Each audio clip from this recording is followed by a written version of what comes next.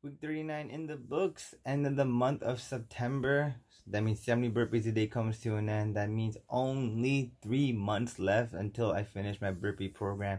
I keep thinking about the day and uh, January 1st when I first uh, started this uh, and, and how far I've come. And I'm just glad I had all the support, you know, a couple of teachers, students, friends, um, all asking about what I've been doing and why I've been doing it. Um, again, you know, small space, no equipment needed, and I can get fit all it takes is five minutes of my life.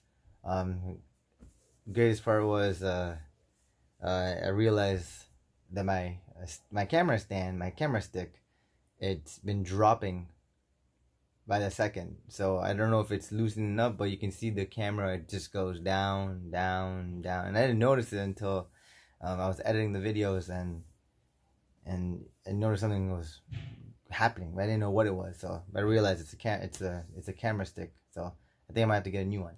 Anyways, uh, I had to do burpees before a volleyball tournament on one of the days, and that was uh, that was fun.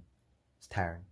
Um, we didn't win that tournament. Um, it was a heartbreaking loss, but we worked with what we had, and our height uh, um, was not the not not uh, our height wasn't was against us. So um, better luck next time, I guess.